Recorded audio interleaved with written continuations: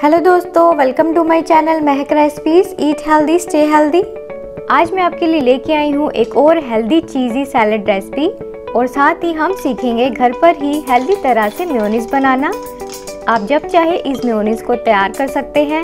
बाहर से जो आप म्योनीस लेते हैं, उसमें बहुत सारा ऑयल और बहुत सारे प्रिजर्वेटिव डले होते हैं, जो हमारी हेल्थ के लिए बिल्कुल अच्छे नहीं होते। तो चलिए फिर स्टार्ट करते हैं।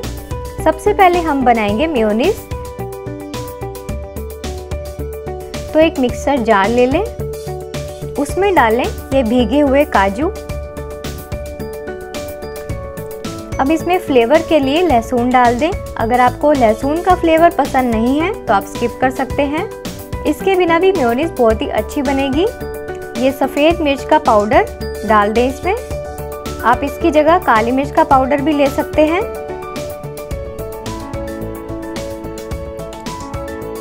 ये है सेंधा नमक। इसकी जगह आप पिंक हिमालयन सॉल्ट भी ले सकते हैं। और ये है काली सरसों के बीज, यानी मस्टर्ड सीड्स ये भी डाल दें। म्योनीज में जो ऑयल डाला जाता है, वो ऑयल काली सरसों से म्योनीज में रिलीज़ होगा, जो पूरी तरह हेल्दी है। अब इसमें डाल दें गुड़ का पाउडर जो म्योनीस में अच्छा टेस्ट देगा। और म्योनीस में डलने वाला सरसों का बीज और लहसुन का जो फ्लेवर है, जो टेस्ट है, उसको भी बैलेंस करेगा। अब डाल दें इसमें आधा नींबू का रस, करीबन दो चम्मच। और ये दो चम्मच पानी डाल दें और अच्छे से इसे ग्राइंड कर लें। बस कुछ ही मिनटों में हेल्दी म्योनीस बनकर तैयार हो जाएगी।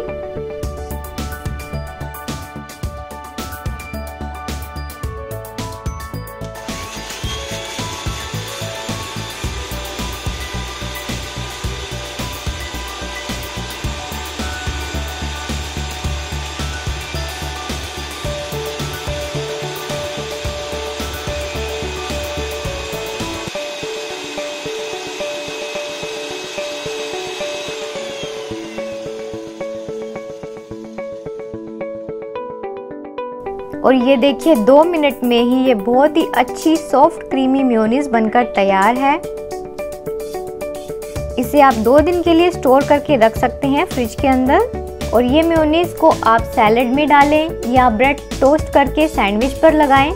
जब भी आपका मन हो फ्रेश म्योनीस इस तरह से कभी भी बना के खाएँ। तो है ना, बहुत ही आसान no preservative no unhealthy oil और दो मिनट में म्योनीस घर पर ही तैयार हो गई। चलिए अब बनाते हैं चीज़ी सैलड। सैलड बनाने के लिए मेरे पास है ये कुछ वेजिटेबल्स। तो एक बाउल ले लें, उसमें डालें बारीक चॉप किया हुआ खीरा।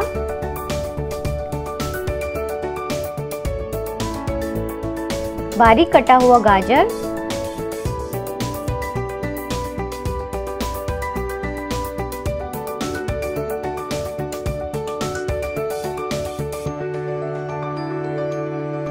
बारीक कटी हुई शिमला मिर्च।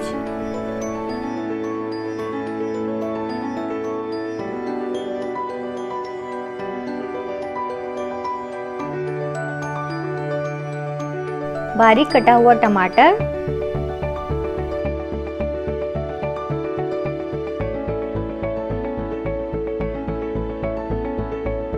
वाइट स्वीट कॉर्न डाल दें।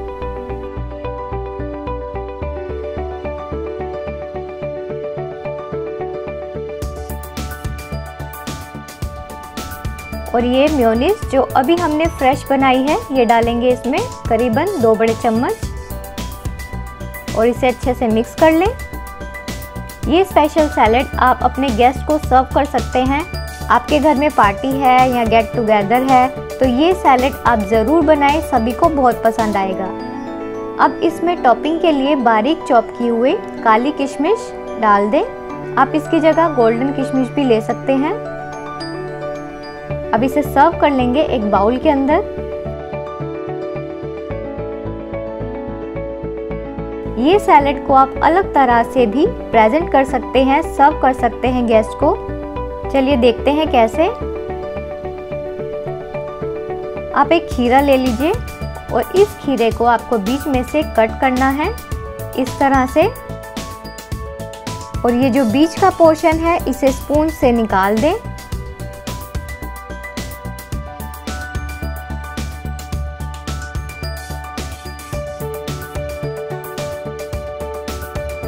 ये देखिए इस तरह से ये बीच का पोर्शन हटा देना है। एक बोट शेप आ जाएगी खीरे की। और ये चीज़ी सैलेड इस कुकम्बर बोट में फिल कर दें।